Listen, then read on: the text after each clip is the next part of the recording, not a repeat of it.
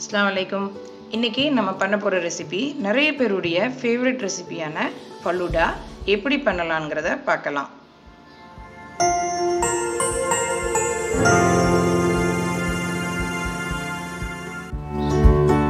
இந்த ரெசிபி இன்றைக்கி தேவையான எல்லா இன்க்ரீடியன்ஸையும் நீங்கள் ரெடி பண்ணி வச்சிட்டிங்கன்னா அசம்பிள் பண்ணுறது ரொம்ப ஈஸி ஃபஸ்ட்டு ஜெல்லியை செட் பண்ணிடலாம்.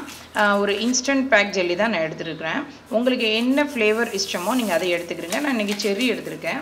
அதை நீங்கள் அந்த பாக்ஸில் கொடுத்துருக்குற இன்ஸ்ட்ரக்ஷனை ஃபாலோ பண்ணியே நீங்கள் ரெடி பண்ணி வச்சுக்கலாம். அதில் டூ கப்ஸ் பாயில் வாட்டர் கொடுத்துருக்காங்க.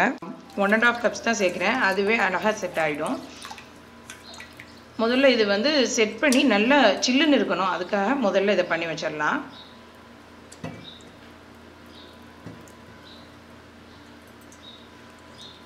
இதில் இந்த ஒரு கலர்னு இல்லை. நீங்கள் உங்ககிட்ட நிறைய கலர்ஸ் அவைலபிளாக இருந்தால் ரெண்டு மூணு கலர் கூட ரெடி பண்ணி வச்சுருங்க. அடுத்ததாக ஒரு டேபிள் ஸ்பூன் சப்ஜா விதை. அதுக்கு ஒரு கப் வாட்டர் விட்டு நீங்கள் ஊற வச்சிங்கன்னா சரியாக இருக்கும்.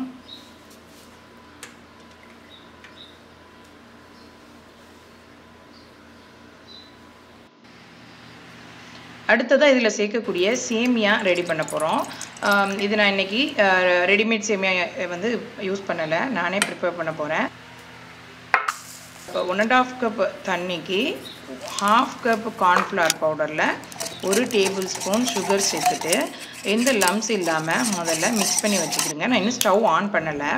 இதெல்லாம் மிக்ஸ் பண்ணதுக்கப்புறம் தான் ஸ்டவ் ஆன் பண்ணி லோ ஃப்ளேமில் வச்சுட்டு இதை நீங்கள் இந்த மாதிரி ஒரு விஸ்க் வச்சு கலக்கிக்கிட்டே இருந்தீங்கன்னா ஒரு த்ரீ மினிட்ஸ்க்குள்ளே இந்த மாதிரி திக்காகிடும் அப்புறமா இது ஒரு டிரான்ஸ்பரண்ட் ஸ்டேஜுக்கு வரணும். அது வரைக்கும் நம்ம அதை அப்படி இந்த மாதிரி மிக்ஸ் பண்ணி விட்டுக்கிட்டே இருக்கணும் கைவிடாமல் அடுத்த டூ மினிட்ஸ்லேயே இந்த மாதிரி டிரான்ஸ்பரண்ட்டாக ஆயிடும் அவ்வளோதான் மொத்தம் ஃபைவ் மினிட்ஸ் தான் இதுக்கு எடுக்கும். ரெடி ஆகிடுச்சு இப்போ ஸ்டவ் ஆஃப் பண்ணிடுங்க. இது நம்ம இப்போ பிழிஞ்சு பிழிய போகிறோம் அதுக்கு நம்ம இடியப்பம் பிழியக்கூடிய அந்த இடியப்ப பரலன்னு சொல்லுவாங்கள்ல அதை எடுத்துக்கிறோங்க. அதில் இந்த மாதிரி ஆயில் அப்ளை பண்ணிவிட்டு நீங்கள் இடியப்பம் பிழிகிறதுக்கு எந்த அச்சு போடுவீங்களோ அதையே சேர்த்துக்கிறோங்க. இது முதல்ல சூடாக இருக்கும்போதே நம்ம பண்ணி எடுத்துடணும். அதுதான் முக்கியம்.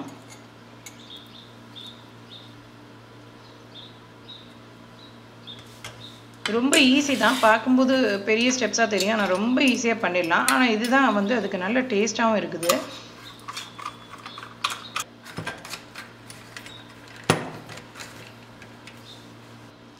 இது நம்ம இப்போ நல்ல கோல்டு வாட்டரில் இதை பிழிஞ்சு விடணும்.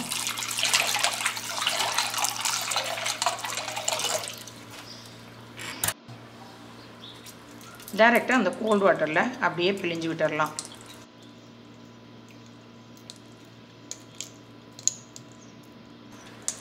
இது பண்ணுறதுக்கு மொத்தமாக ஒரு டென் மினிட்ஸ் தான் ஆகும்.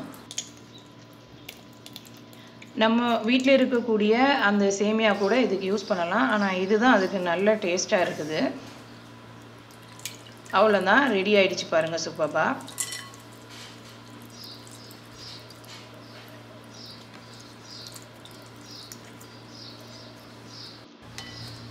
அடுத்ததாக நம்ம செட் பண்ணி வச்ச ஜெல்லி ரெடி ஆகிடுச்சு இதை பீஸ் போட்டு எடுத்து வச்சுக்கலாம். அப்புறம் ஒரு ஹாஃப் லிட்டர் பாலை நல்ல ஒரு கால் லிட்டர் ஆகிற வரைக்கும் மூணு டேபிள் ஸ்பூன் சுகர் சேர்த்து காய்ச்சி எடுத்து வச்சுக்கிறோங்க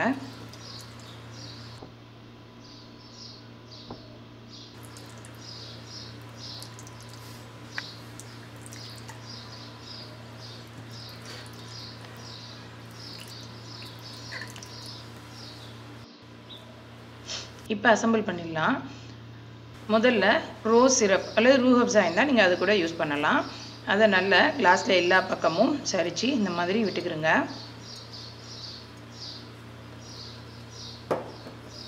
உங்களுக்கு விருப்பப்படுற அளவு நீங்கள் விட்டுக்கிடலாம். அடுத்ததாக சப்ஜா விதை ஆட் பண்ண போகிறேன் இதில் இதுக்கு அடுத்தது தான் எது சேர்க்கணுன்ற எந்த ஒரு இதுவும் கிடையாது. உங்களுக்கு எது விருப்பமோ நீங்கள் அதைப்படி சேர்த்துக்கிடலாம். நெக்ஸ்ட்டு நான் ப்ரிப்பேர் பண்ணி வச்ச சேமியாவை சேர்த்துக்கிறேன். ஃபலூதாவை பொறுத்த வரைக்கும் கலர்ஃபுல்லாக இருக்கணும். அதுக்கு நீங்கள் வந்து எப்படி நீங்கள் விருப்பப்படுறீங்களோ உங்களுடைய க்ரியேட்டிவிட்டிக்கு தக்கன அதை நீங்கள் ரெடி பண்ணிக்கலாம். அப்புறமா ஜெல்லி ஆட் பண்ணிக்கிறேன்.